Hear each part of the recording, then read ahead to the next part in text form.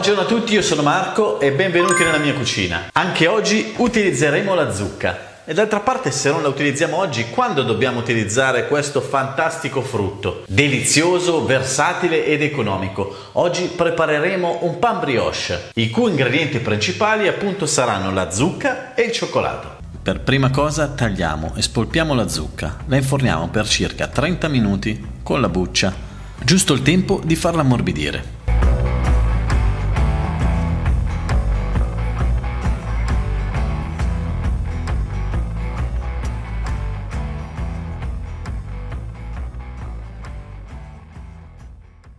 Nel frattempo che la nostra zucca cuoce, cominciamo a preparare l'impasto. Lo divideremo in due, faremo una sorta di biga di pre-impasto e lo faremo lievitare fino a quando il suo volume non sarà raddoppiato. Mentre la zucca è in forno, cominciamo a preparare la biga. Quindi in planetaria con il gancio inseriamo farina, acqua e il lievito di birra.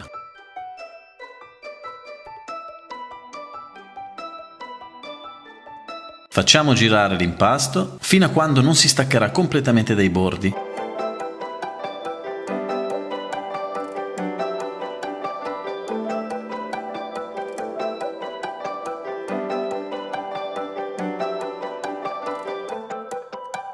A quel punto lo mettiamo in una bowl e lo copriamo con la pellicola. Lo faremo lievitare fino a che il suo volume non sarà raddoppiato.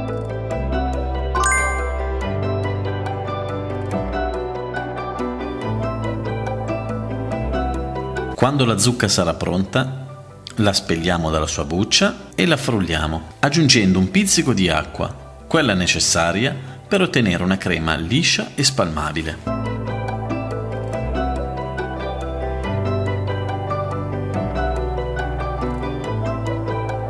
Ora la lasceremo un attimo da parte per farla raffreddare.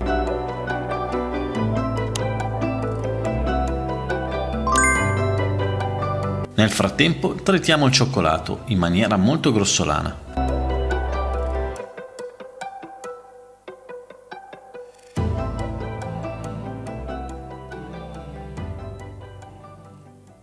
Ora che la nostra zucca è pronta, cotta, frullata e raffreddata, il nostro cioccolato è bello sminuzzato, il nostro impasto avrà raddoppiato il suo volume, quindi ora possiamo procedere con la seconda fase dell'impasto. Sempre in planetaria con il gancio aggiungiamo l'impasto lievitato con la farina e la crema di zucca ottenuta. Facciamo girare la macchina fino a quando gli ingredienti non saranno ben amalgamati.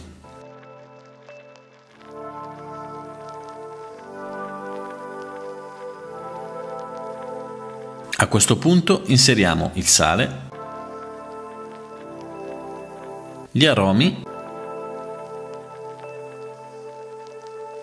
e lo zucchero semolato. Diamo il tempo all'impasto di assorbire bene gli ingredienti.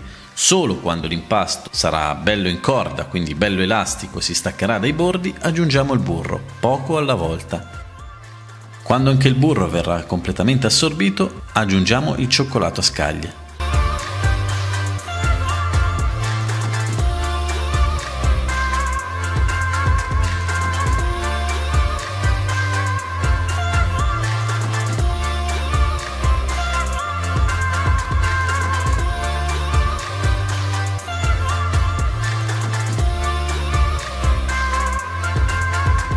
Diamo una veloce impastata con le mani sul piano di lavoro e lasciamo riposare il nostro impasto in una bowl coperta da pellicola trasparente.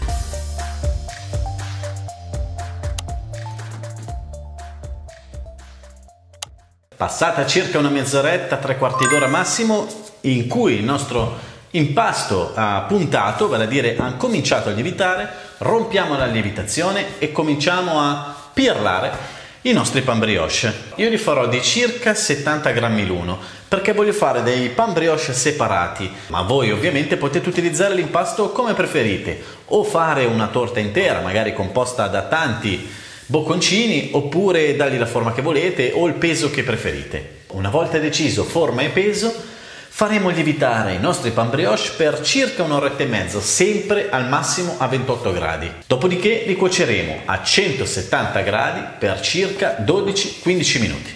Spezziamo il nostro impasto al peso desiderato.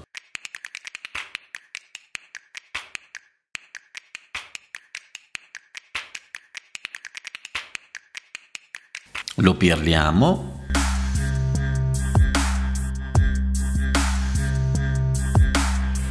e lo mettiamo sulla placca ricoperta di carta da forno. Lo faremo lievitare per circa un'oretta e mezza.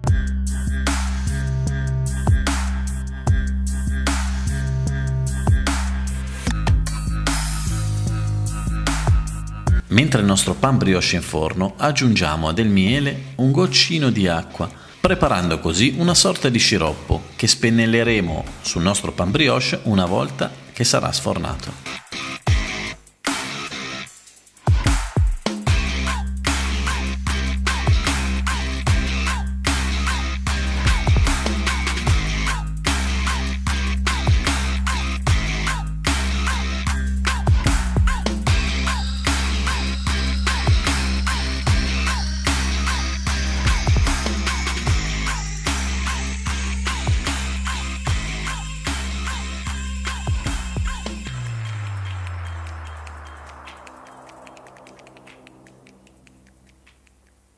Ed ecco qui il mio pan brioche zucca e cioccolato, ottimo per una colazione o una merenda autunnale. Se a qualcuno venisse in mente di storcere il naso perché insomma c'è la zucca e la zucca non si addice a fare un pan brioche o un dolce, beh io vi garantisco che se per caso doveste provare a farli ne rimarrete piacevolmente soddisfatti. In questa ricetta come aroma io ho utilizzato come avete visto la cannella non ne ho messa molta a dire la verità, infatti non è che si sente proprio tanto. Casomai non vi dovesse piacere la cannella, potete tranquillamente sostituirla con della scorza di arancia oppure della vaniglia. Comunque qui sotto in descrizione come sempre troverete la ricetta per prepararli anche voi e se il video dovesse esservi piaciuto io vi invito a lasciarmi un like, iscrivervi al canale e a cliccare sulla campanella così da rimanere aggiornati sui prossimi video che pubblicherò.